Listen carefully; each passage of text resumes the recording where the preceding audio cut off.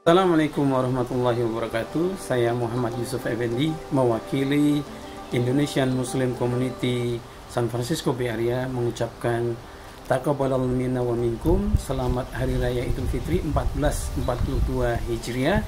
Semoga apa yang telah kita lakukan selama bulan Ramadan menjadikan kita saat ini lebih baik dan Allah Subhanahu wa taala mengabulkan semua keinginan kita, doa-doa kita dan kita termasuk dari orang-orang yang mendapatkan maghfirahnya, rahmatnya.